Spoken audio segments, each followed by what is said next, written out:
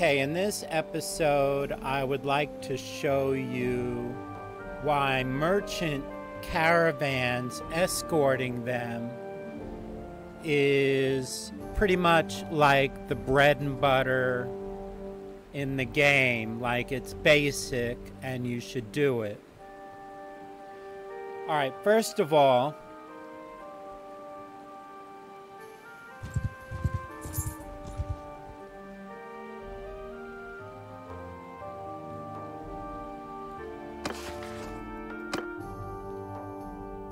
So normally merchant caravans start at about three settlements and it seems to go up as your level goes up.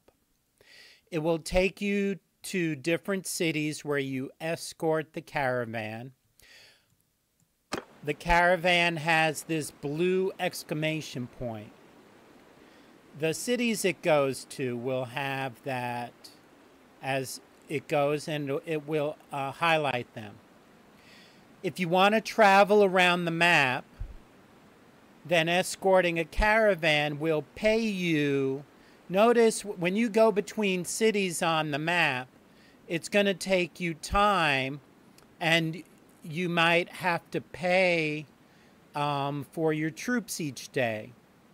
Well, if you get the merchant caravan, they will pay you. In this case, he's paying twelve fifty. Um, they will pay you between the cities. I think it depends on how strong you are. So, at least you're getting paid for your time. And in this case, I used the caravan. I started off um, on this side of the map, my war, uh, the war ended between Sturgia and the um. So I wanted to go back, but I'm paying like several thousand a day for my troops.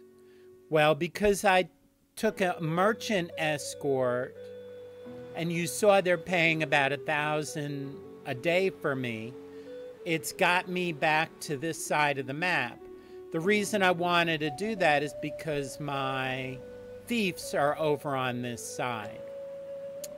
So, merchant caravans cover some of your costs while moving around the map, and they take you to different cities. So, for example, we're at Rote here. If I wanted, I could fight in a tournament and I'm I would have been paid to travel here. I could look in the tavern to see if there's anybody who I could hire here. Just as just as some examples, and I am paid while going there. Okay, so they'll stay in the city for a little while and then when they leave, a, message will pop on the screen like we are, it said, we are traveling to Seonon. So if you look, you see there's a dot up here. If you click, left click that, you can click on the city. Now you'll want to stay close to the caravan and keep an eye that it doesn't take a different route. Because looters can attack it as well and you see it only has 12 people defending. So you need to stay relatively close. You want to get ahead of it if you can. Because the there is always a group that attacks it between each city. So far every time I've escorted there's been a group between 40 and 70 that attack. Normally it's 40, but if you have more people, if you have like 80 people, um, it may send you more than 40. But for some reason, I'm up at 200, it's just sending me 40 now. So apparently it drops it back down once you're above a certain power rating. Try to stay close and not get too far ahead of the caravan. I believe the speed of the caravan is to pace you roughly how fast you're going.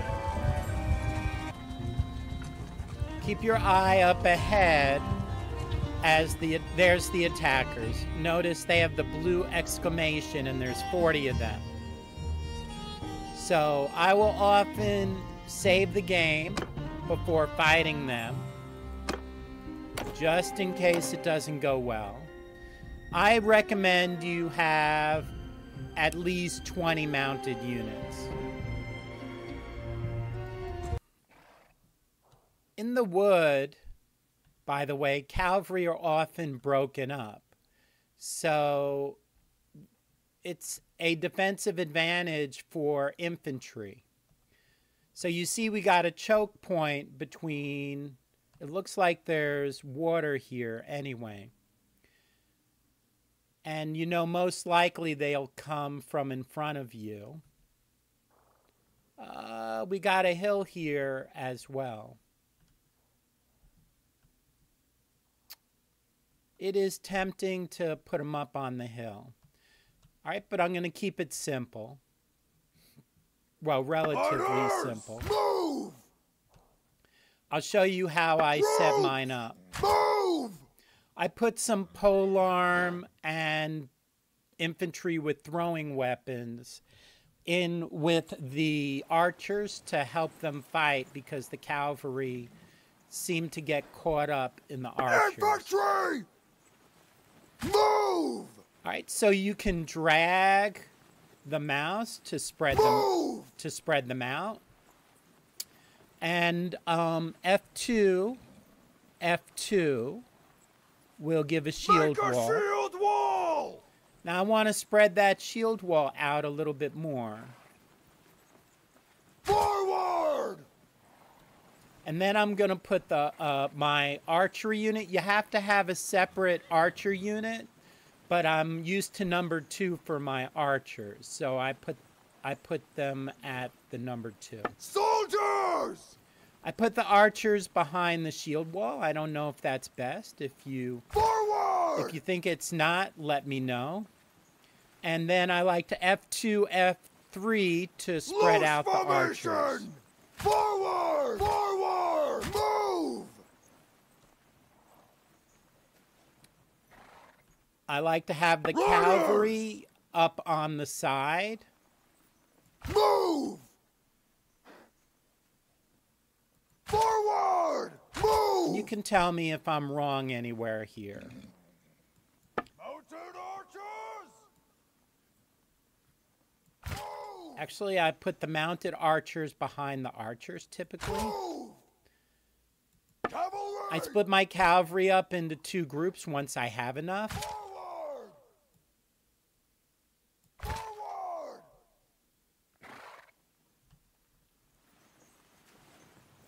One of them I give to me. And uh, I always have the horse archers on four. So, ready?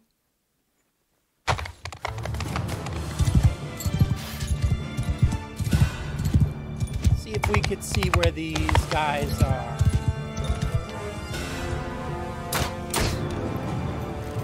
Right, since they're shooting, there they are. So 3 Cavalry! F1, F3, and 5 F1, F3 sends the cavalry. 4 horse F1, F3 sends the horse archers. And 0 Soldier F1, F3 sends everybody else.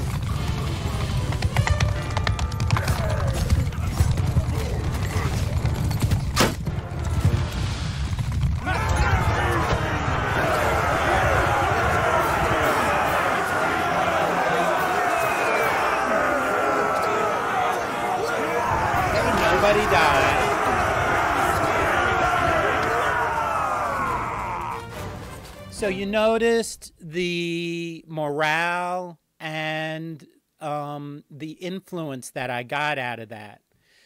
That's part of the benefit of doing these merchant caravans is the increase in morale and the increase in influence.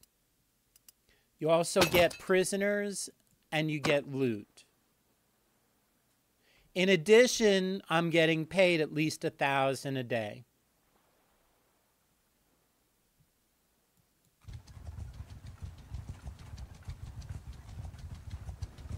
Even when I have close to 40 verse 40, I try and not let my cavalry get caught alone because several of them around your cavalry, uh, you could have people die. They overwhelm you.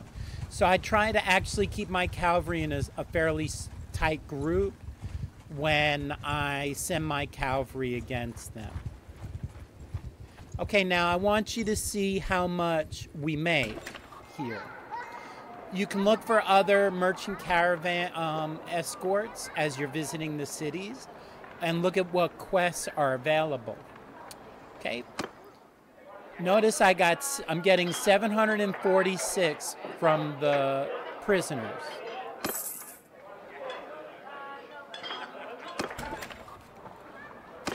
Okay, now let's see how much we get from what we got off of them.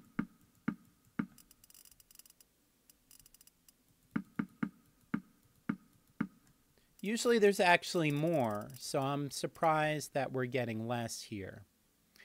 Notice 2,258 and the 746 is about 3,000, which exceeds how much I'm paying per day.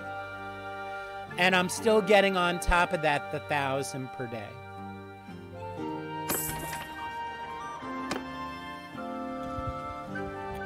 Now watch because the this is about to finish.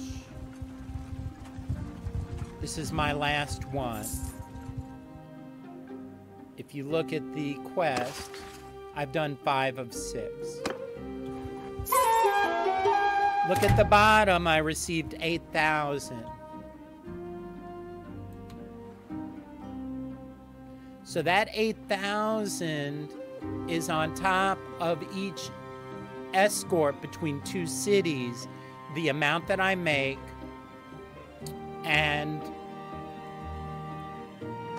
I also get the renown and I get the influence. So, thank you for watching. That that's why you should do these caravan escorts and they're worth your time. And instead of chasing looters, you're guaranteed the 40 cavalry units, which is also good practice for your people to get experience. Thank you for watching.